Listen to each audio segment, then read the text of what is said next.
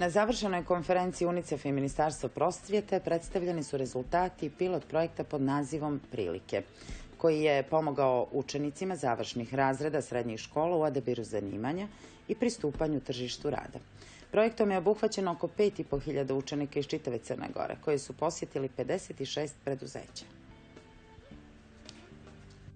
Kroz jednodnevne posjete preduzećima i razgovore sa poslodavcima, srednjoškolci su dobijali više informacija o visini početnih plata, radnim zadacima i uslovima rada.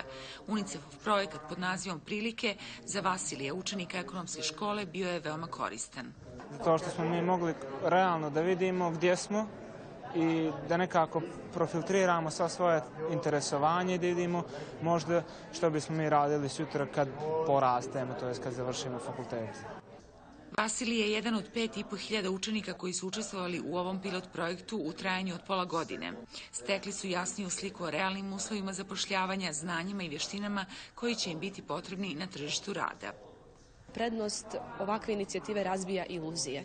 To je sve one jazove između teorije i prakse koji su evidentni, koji su nažalost konstanta, jer većina uh, srednjoškolaca, među kojima su moji prijatelji, jer sam direktan predstavnik njih kao neko ko je trenutno maturant i aktivan uh, član debatnog i volonterskog kluba moje škole, znam da većinu uh, odluka po pitanju svoje karijere donose isključivo na osnovu teorijskih znanja i iluzija koje su sebi postavili. Ovakvi i slični projekti svakako koriste svima nama i u obrazovnom sistemu i tim mladim ljudima da nam trasiraju neke smjernice kako i u kom pravcu treba da ide obrazovni sistem, našto kada se tiče i upisne politike ovaj, i svega onoga što, što mi zovemo usklađivanje, usklađivanje obrazovanja sa potrebama tržišta rada. Šef predstavništva UNICEF u Crnoj Gori Benjamin Perks kaže da je istraživanje nakon završetka projekta pokazalo da su učenici bolje upoznati sa tržištem rada, a sa druge strane poslodavci su dobili bolji uvid u njihove sposobnosti.